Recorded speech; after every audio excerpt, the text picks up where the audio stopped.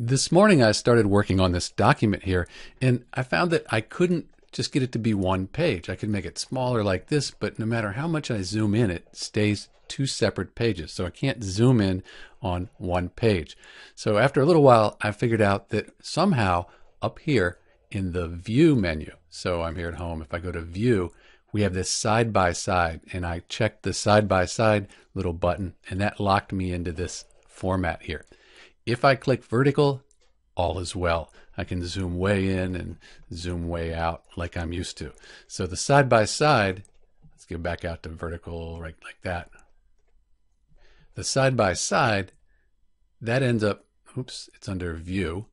That ends up giving us this format where we can't zoom in and out. Seems not very helpful to me, but that's the way. To fix it, you're under view, click vertical, and life is back to normal.